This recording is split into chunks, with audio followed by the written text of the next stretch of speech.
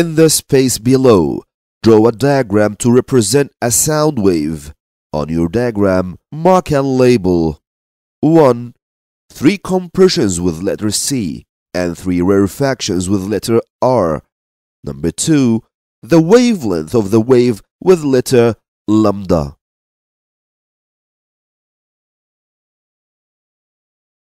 This is not the first time to draw a longitudinal wave.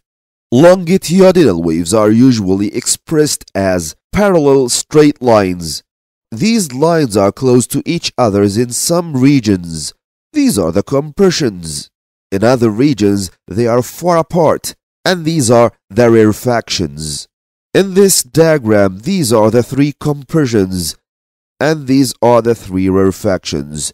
Actually, the Mark scheme accepts other ways in drawing the longitudinal waves. One of them is a wave in a helical spring, like this one. Here are three compressions, where turnings of the coil are closer to each other, and these are the rarefactions, where turnings of the coil are far apart from each other. In question 2, he asks for the wavelength. The wavelength in the longitudinal wave is the distance between the centers of two successive compressions or two successive rarefactions.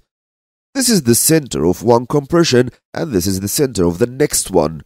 This is the wavelength of the wave. Also, you can make it using rarefactions.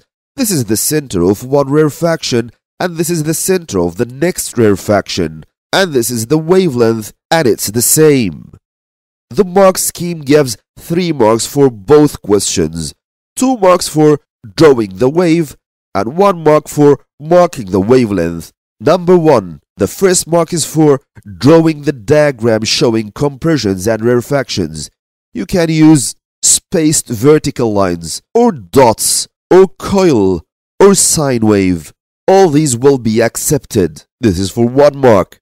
The second mark is for showing three compressions and rarefactions in approximately correct places. Double I. The one mark is given for showing the wavelength correctly by eye.